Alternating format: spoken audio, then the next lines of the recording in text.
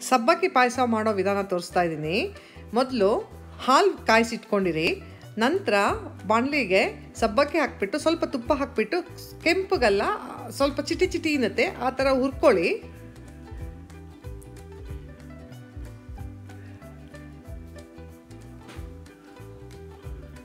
ನೋಡಿ ಹದ ಬರುತ್ತೆ.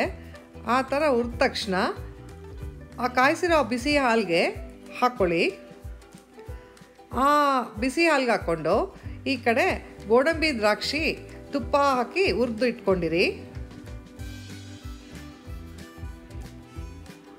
ಹಾಲು ಕುದೀತಾ ಕುದೀತಾ ಸ್ವಲ್ಪ ಸಬ್ಬಕ್ಕಿ ಕುದಿದ ಮೇಲೆ, ಬೆಂದ ಮೇಲೆ ಸಕ್ಕರೆ ಹಾಕ್ಕೊಳ್ಳಿ ಸಕ್ಕರೆ ನಂತರ ನಾನು ಇದಕ್ಕೆ ಹಾಕಿದ್ದೀನಿ ಕೇಸರಿ ಬೇಕಾದ್ರೆ ಹಾಕೋಬೋದು ಇಲ್ಲ ಬಿಡ್ಬೋದು.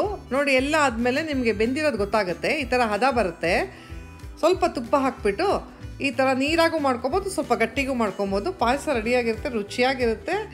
ಹೆಲ್ದಿ ಕೂಡ ಇದು, ತಂಪು ಕೂಡ ಸಬ್ಬಕ್ಕಿ. ನೋಡಿ, ಸಬ್ಬಕ್ಕಿ ಪಾಯಸ ಹೇಗಿದೆ ಹೇಳ. ತುಂಬ ಚೆನ್ನಾಗಿದೆ. ನೀವು ಟ್ರೈ ಮಾಡಿ, ನಿಮಗೆ ವಿಡಿಯೋ ಇಷ್ಟ ಆದರೆ ಲೈಕ್ ಮಾಡಿ ಶೇರ್ ಮಾಡಿ ಸಬ್ಸ್ಕ್ರೈಬ್ ಮಾಡಿ. Thank you